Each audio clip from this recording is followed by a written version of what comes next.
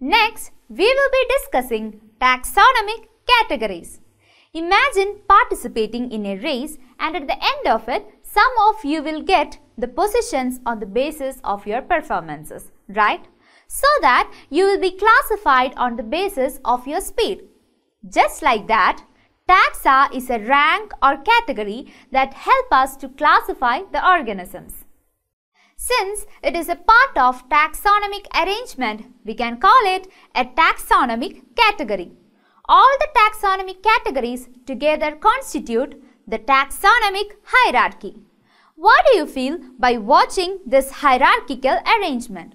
Don't worry, we'll make it easier.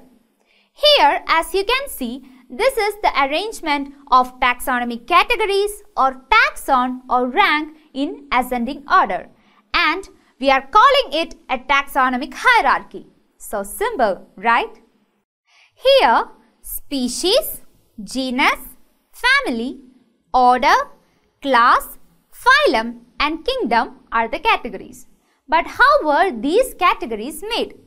It is through the taxonomic studies of all non-organisms.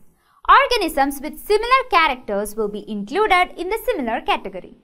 For categorizing the organisms, we need to know more about each taxa or category.